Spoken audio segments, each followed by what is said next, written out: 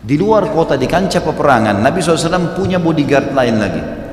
Artinya ada orang-orang yang mendampingi Nabi SAW. Itu adalah Zubair bin Awam yang pernah kita jelaskan fadilahnya.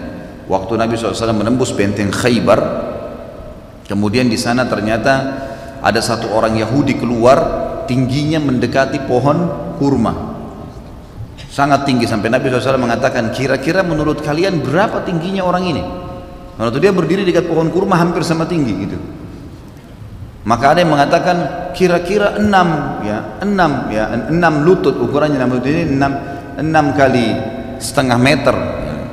Itu sudah luar biasa gitu kan. Ini kurang lebih hampir tiga meter tingginya orang ini. Maka kata Nabi SAW, dia nantang duel orang itu. Siapa yang akan melawan orang ini? Maka Zubair mengatakan saya Rasulullah. Zubair pun keluar. Zubair waktu berdiri dekatnya orang itu, itu hanya mendekati, mendekati perutnya, mendekati dadahnya. Saking besarnya orang itu. Duel akhirnya dan dengan luar biasa hikmah Allah dengan keterampilan perang Zubair berhasil mengalahkannya.